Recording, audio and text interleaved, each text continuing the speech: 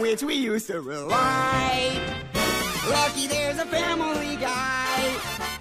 Lucky there's a man who positively can do all the things that make us